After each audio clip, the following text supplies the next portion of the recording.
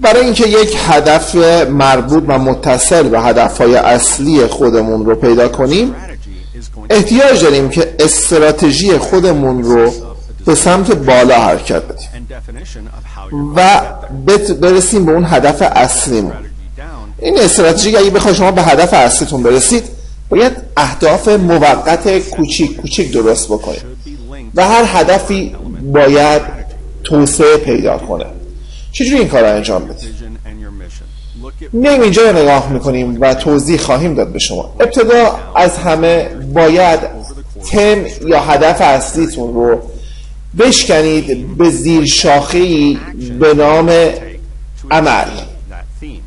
و این عملها نیز باید شکسته بشه به سابکشن یا زیر شاخه های عمل یا زیر عمل ها یا و در نهایت به هدف ها خب من در یک شرکت باغ و چمن مسئول برنامه ریزی هدفشون شده ما به اونها گفتیم توی تیم گفتیم که هدف ما اینه که بریم به فضایی های باز و دیگه از یه شرکت کوچیک خارج شیم و قدرت پیدا کنیم.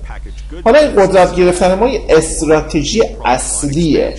ولی خب قطعا یک زیرشاخه هایی هم داره. مثلا مشتری های که پیدا می‌کنیم مشتری های جدیدی باشن اهدافمون برای این پلن و این کار مشخص بشه. مهلت زمانمون ضرب العجله هامون نکات مثبت نکات منفی و دسته های اهداف ما.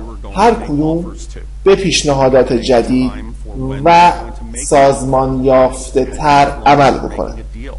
خب وقتی ما این کارو بکنیم در واقع اهداف مهلت و یک پارچه سازی سازمانمون رو به جلو پیش می‌بریم. یعنی دیگه از اون حالت اولیه نمیایم بگیم که ما می‌خوایم شرکت بزرگ بشیم وسیع تر بشیم بله می‌خوایم وسیع تر بشیم اما با وجود این زیر عملها و این عملها تا بتونیم به این اهداف کوچیک این هدف های کوچیک کوچیک کوچیک کوچیک برسیم تا بتونیم برای خودمون اون هدف بزرگه یا اون استراتژیک بزرگه که موفقیت سازمانمون هست بهش برسیم. پس در واقع استراتژی ما theme action و گول طبقه بندی میشه. تم کارمون اکشن عمل هامون و هدف هامون کم کم کم که تبدیل میشه به کل.